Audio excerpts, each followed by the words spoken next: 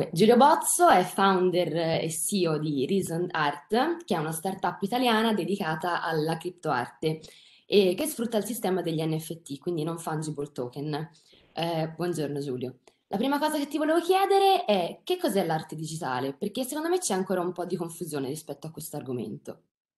Sì, assolutamente, c'è tanta confusione e l'arte digitale eh, nasce intorno agli anni 60 con le prime sperimentazioni e l'arte digitale mh, consiste in che cosa? In un, un artista che tramite un, il suo processo creativo utilizza un medium digitale, quindi utilizza eh, uno strumento come può essere Photoshop, o può essere realtà aumentata, realtà virtuale o l'intelligenza artificiale o tanti altri strumenti digitali che possono aiutare appunto l'artista a dare vita alla propria visione, quindi alla propria opera d'arte. Quindi questo è diciamo, un, eh, definito un'opera d'arte digitale. Poi ha, di, diverse, diciamo, verticali ehm, appunto legate al medium ehm, specifico di, eh, di utilizzo.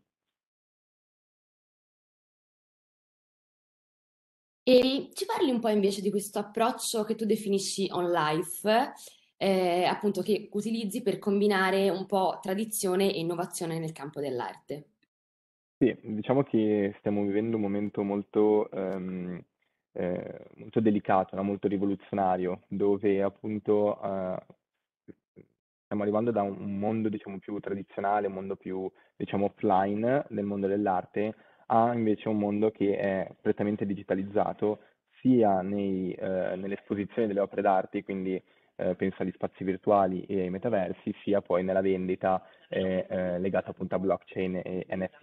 Il nostro grande obiettivo è quello di eh, riuscire a ehm, creare partecipazione e confronto eh, nella, appunto, negli spettatori attraverso delle esposizioni fisiche di opere d'arte digitali. Quindi stiamo adottando questo approccio proprio per creare questo, questa diciamo, dualità no? e questo mix ehm, attraverso appunto questo, questo, questo approccio on life che viene è un neologismo eh, di, del professor Luciano Floridi che appunto descrive un po' le nostre vite come un, un ibrido no, tra l'online e l'offline. È un po' quello che stiamo cercando di fare noi, quindi offline per quanto riguarda l'esposizione delle opere d'arte, mentre invece online per quanto riguarda appunto i processi e la modalità di vendita. Invece, mh, quale pensi che sia stato l'impatto della sostenibilità, cioè del tema della sostenibilità nello sviluppo dell'arte digitale? Allora, il tema della sostenibilità sicuramente è, è molto interessante dal punto di vista degli artisti, no? Eh, ci sono tanti artisti che appunto stanno indagando il tema non soltanto in, in questi ultimi mesi dove il tema comunque è sempre più caldo, ma eh, in tutti i sensi, ma, eh, ma anche nel, appunto negli anni, negli anni addietro. Eh, sicuramente il mondo della blockchain si porta dietro un, un problema, no? Che è quello del del consumo energetico legato al minting, ossia quando poi l'opera d'arte viene tokenizzata e quindi viene creato l'NFT, che è questo certificato di autenticità, eh, e le, mh, l'altro problema sono le gas fee, quindi quando l'opera d'arte poi viene trasferita, ehm, appunto ci, ci, sono queste gas fee che vanno poi a, a creare il consenso e vanno a, crea- a creare no, poi il, blocco della catena. Eh, dove appunto c'è poi la transazione. Tutto questo appunto con delle blockchain che utilizzano la proof of work ehm, ha un, un, grande dispendio energetico e ovviamente un grande impatto ambientale, mentre invece ci sono altre blockchain come eh, Polygon, Solana, Algorand che invece lavorano con la proof of stake e quindi vanno a limitare del 90% questo impatto. Quindi anche da questo punto di vista comunque le cose stanno diciamo, diciamo cambiando eh, in quest'ottica comunque uno dei player più importanti che ovviamente è Ethereum eh, passerà alla proof of stake, quindi il problema appunto eh, si sta limando anche, anche in quest'ottica. Ok, e per concludere, tu ritieni che il futuro dell'arte sia nel digitale oppure che sia, questo sia un fenomeno, diciamo, più temporaneo, più passeggero? Mm, credo che ormai il linguaggio eh, che utilizziamo tutti quanti siano eh, inerente al digitale, quindi eh, gran parte degli artisti contemporanei ovviamente lavorano con questo strumento, ma non perché è una moda, ma perché proprio è una necessità, no? Eh, del loro, del, del, loro, per fare la loro arte, per creare appunto le loro opere d'arte.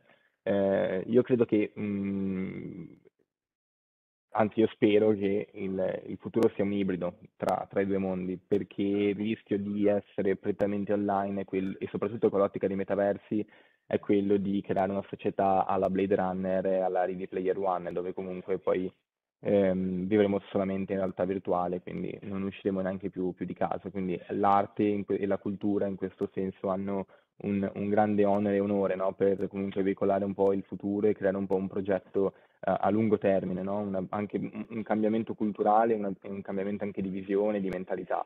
E ovviamente declinate nella maniera corretta. Credo che il grande problema di noi, soprattutto no, nuove generazioni, sia quello di non, avere, di non vedere una luce in fondo al tunnel, no? E quindi attraverso l'arte e la cultura questo si, può, eh, cioè, si, si, potrebbe, eh, si, potrebbe, creare comunque qualcosa di, di, innovativo e soprattutto andare a capire i pro e i contro delle, dell'utilizzo delle nuove tecnologie, no? Cioè, le stiamo utilizzando veramente male perché non le capiamo, cioè, nessuno ce le insegna, a scuola non ci insegnano che cos'è l'intelligenza artificiale e comunque è il nostro futuro, cioè il nostro presente è il nostro futuro, non ci spiegano cos'è blockchain, cioè, ovviamente se una cosa non la sai eh, hai paura no, di quella cosa, quindi c'è tutto un, un, sistema che secondo me va, va cambiato, ma credo che anche in, qui in Italia stiano cambiando un po' le cose attraverso eh, sia dei, dei, sistemi educativi del, di varie startup, cito Young Platform, veramente molto interessante per, eh, per, per, avvicinarsi al mondo cripto eh, sotto un punto di vista più economico e quello che stiamo cercando di fare anche noi, da, di cambiare le cose da un punto di vista più culturale e artistico, no? cioè, un po'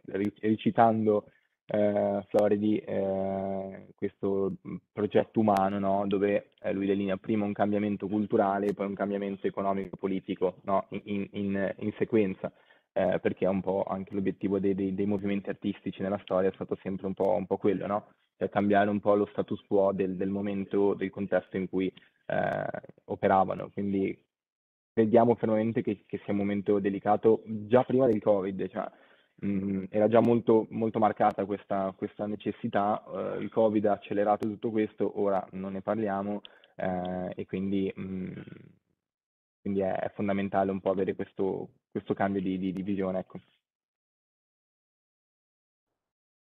Giulio, ti ringrazio molto per aver risposto a queste domande. L'argomento è assolutamente interessante e appunto, come dicevi tu, sarebbe giusto approfondire anche proprio a livello di educazione alla tecnologia, eccetera.